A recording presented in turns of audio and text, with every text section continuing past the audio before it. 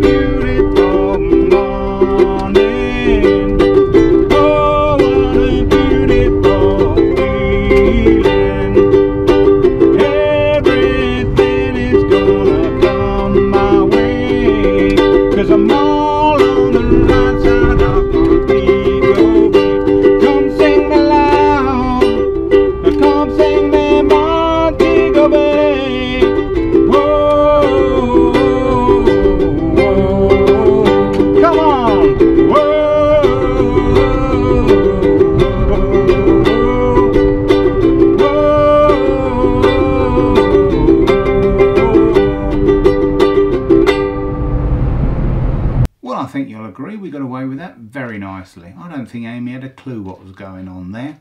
We'll see you again soon, back in the Room of Rock with Ted and I. Anyway, take care and uh, see you soon.